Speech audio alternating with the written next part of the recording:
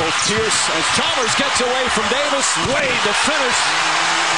Richardson had called both Pierce and Garnett actresses that spurred that incident at the end of game one that caused the suspension of Garnett in game two. And Mike, it's the zone that has totally changed the game around again because of only one range shooter on the floor. I like this move by the Miami Heat. Chalmers almost the steal on that one. The Celtics call timeout. They have more turnovers than shot attempts.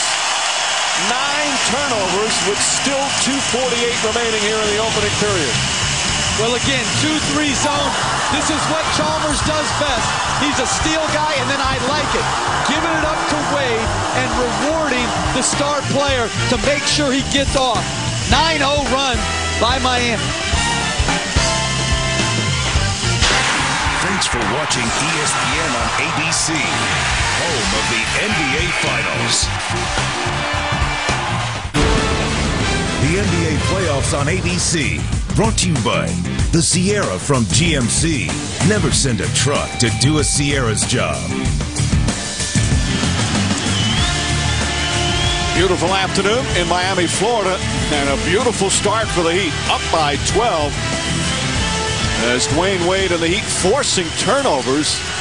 Boston shooting 62%, but they can't hold on to the ball. Getting it done on the defensive end, active hands, and then off to the races. Time and time again, this is the way that the Miami Heat team will give themselves a chance to win and get back in this series defensively. And I love this. Chasing shooters off a screen is not just a guy initially, but you build the wall. Three guys in position off the catch, and then multiple epic plays. Getting back into the picture. Outstanding job early on for the Heat defensively. Boston struggled with turnovers early in the regular season. They were actually one of the worst in the NBA. Much better second half of the year as Rondo misses that jumper. Wade on the attack, drives, blocked by Tony Allen, and then Wade got hit.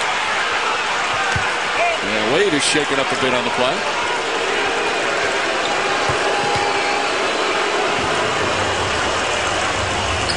Coach, you talked about something where Chalmers gave the basketball up as we take a look at the block.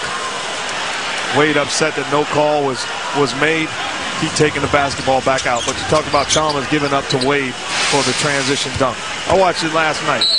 Westbrook did the same exact thing for Durant. That's what you want to do. Find a way to get your star players a taste of knocking down baskets, whether it be in transition or easy layups. And you know what? That's not easy for young players to realize that. I give both these younger guards credit for realizing that situation. Rondo trying to draw the foul, has one the rebound. Outlet Wade. Wade goes right at Michael Finley, count it, and one. Where he continue their assault. They're up by 14.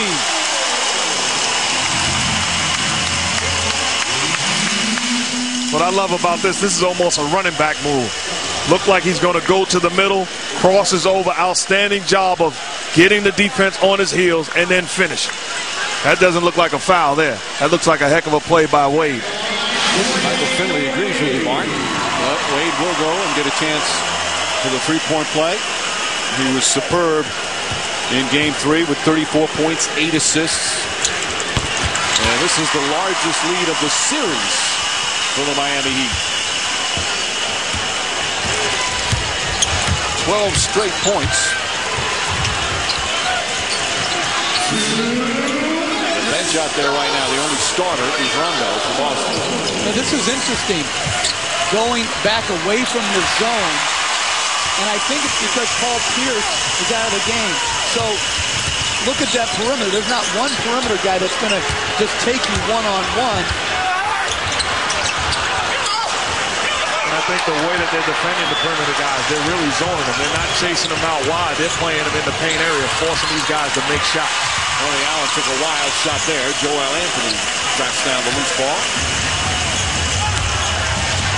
Heat shooting 57% from the field. Wade, oh, beauty! 31 to 14. Wade with 14. Finley jump shot. gets it to go. I think Miami should try to re-sign that guy in the offseason. well, so much made here in South Florida that with the Heat should lose this game, will it be Dwyane Wade's final game as a member of the Heat? Elliott, ball knocked away, still loose. Wallace comes out with it. Well, you can't have loose possessions right now. Finley off the mark.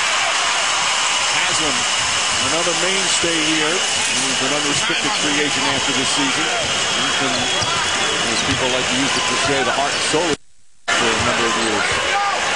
I like this. Rather than going two for one, slow it down. Things are a little hectic. Get a quality possession you're Wade steps back. Well short.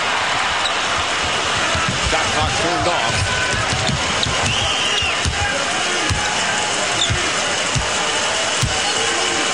Wade and Richardson were 27 of the 31 points.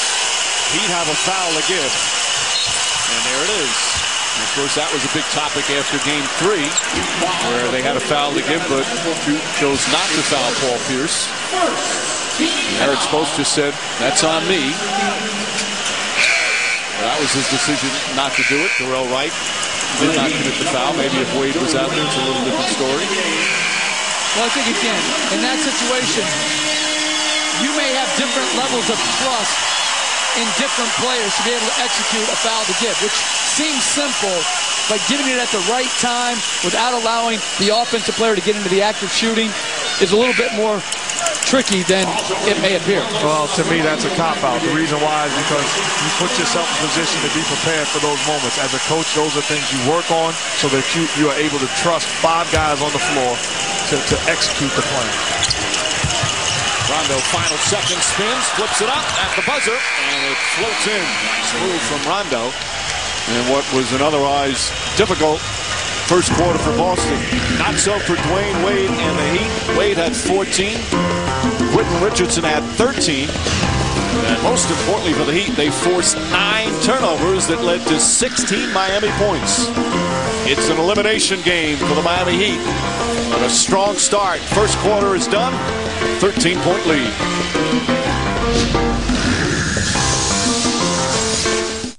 Welcome back to Miami where the Celtics are down by 13. Doc, they jumped out on you early. What didn't you like about that, that first quarter? Well, I didn't like anything, really. Uh, I mean, we had no patience on the offensive end. It was like everybody came out offensively and tried to make, make a knockout blow by themselves. You got to play together. And defensively, we had no urgency. We, they got the first eight shots with no hands in the face. Big uh, first quarter for Dwyane Wade. You've been talking about your defense against him all series. What do you have to do differently against him? Well, he's Dwyane Wade. You know, um, I'm more concerned really about those other four guys on their team because they're having an impact while Wade is having an impact. And they both can't have one. So we got to stop one or the other. All right, thank you very much, Doc. Mike? All right, Lisa. Doc Rivers is one who says, let's wrap up the series as quickly as possible. He remembers back in 2003, he was the coach of the Orlando Magic. First round, they were up 3 to 1 against the Detroit Pistons and lost three in a row and lost that series. Granted, it's not 3 0, but he has seen teams come back in a playoff series firsthand. But they were the far superior The team. Pistons The. Pistons Yes. were. That was a championship level team, and really only Doc had Tracy McGrady and the modern day or latter day Tito's at that time. Ray Yeah. Allen, it's that shot. you know, they just didn't have the depth of talent that that Detroit had at that time. I think the concern is you don't want to give this Miami Heat team confidence. This is a this is a group that's been struggling confidence-wise up until this point. You don't want to give them a bounce and a swagger where they believe that they can make plays and have a chance in this series because they have a star that can take over. Ball kicked out of bounds. Shot clock reset to 14. Here's Dwyane Wade, who's sitting right now. Now, normally he sits in the second and the third, but those were his numbers in those quarters. Well, yeah, he he starts off, his minutes are a little bit less than both the second and the fourth. But those are huge numbers. And I think one of the reasons is, as we saw in the first quarter here, his opportunities in transition diminish over time. Arroyo had to put it up as the shot clock expired. Here's Nate Robinson. He's only played in eight minutes in this series as Davis goes in and fouled by Haslem. So free throws coming up for Big Baby Davis. Robinson off the bench here. As Davis goes to the free throw line. He had that terrific game, too, when Garnett was suspended. But he is, whether he's scoring or not looking for a shot, he's been very good.